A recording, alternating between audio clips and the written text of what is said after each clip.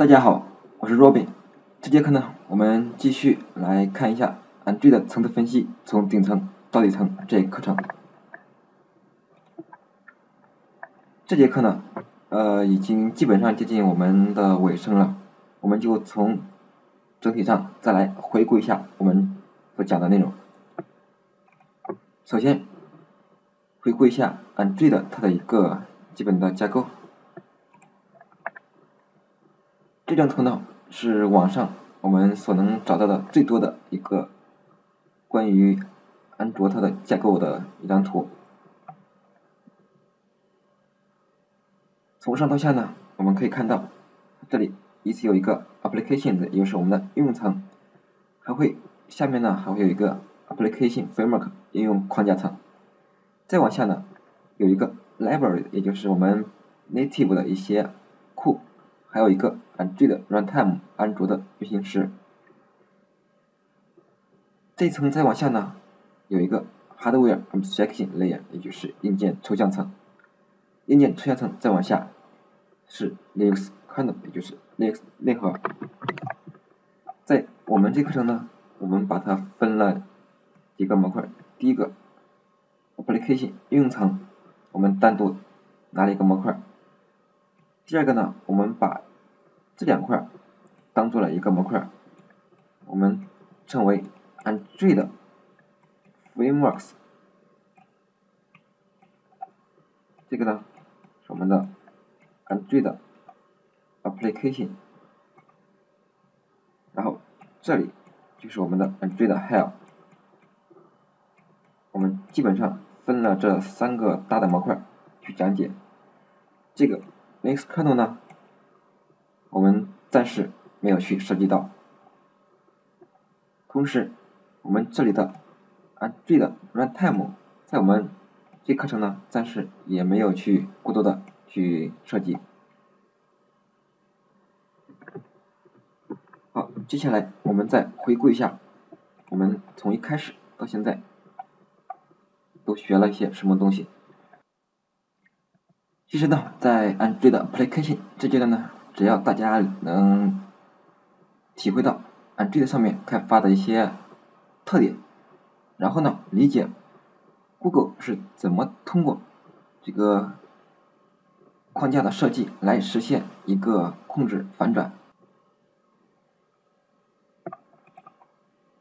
也就是我们在这里所讲的一个 TM 和 IOC 等相关的概念。然后我们又讲到了 Android Frameworks，也就是安卓它的一个框架。在这个模块呢，首先我们确定了一下我们的一个学习的一个思路和我们的具体学习的一个方法。在这里，我们介绍了一种通过测试性 set 和 UML 工具画序列图、画类图。来看源码的一个方法。之后呢，我们结合着我们的学习思路和阅读源码的方法，从我们在学习 Android Application 的时候所熟悉的一个 API 入手，来了解了一下 Frameworks 它的一个基本架构。我们又进一步深入学习了一下 Binder 它的一个基本架构，包括 Binder 的一个通信流程等等。在最后呢，我们又反观了一下 Binder 它这个基本架构，去思考了一下它为什么会是这样的。其实我们主要是就讲了两张图，给大家找一下。只要大家能理解了这两张这张图上，也就是 a n d r 的它的 framework 呢，基本上就是一个基于 Bander 的。CS 这样的一个架构，它的服务呢又分为了两大类，它每一类中都大概有哪些什么样的一些服务。然后呢，还有一个它的 Binder 的一个基本的架构，只要大家能把这两张图理解了，基本上就可以了。然后呢，在 Android 还有这阶段呢。其实最重要的，我们也是一个 hell 的一个基本的架构。然后呢，我们 hell 存在的一个意义，也是我们概述里边讲的，为什么会有 hell 这样一个东西。然后呢，我们又讲到。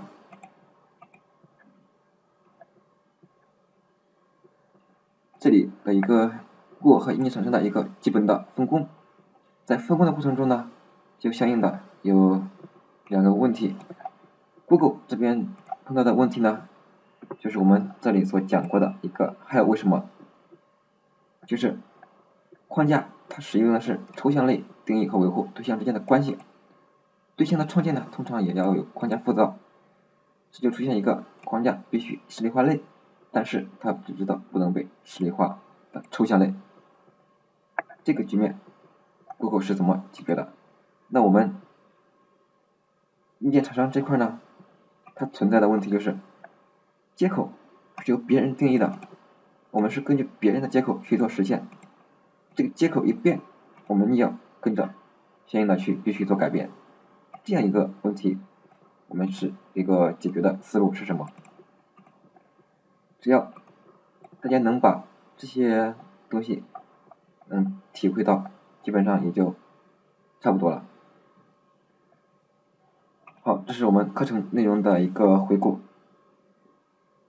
最后呢，需要说明的是，我们这个课程呢，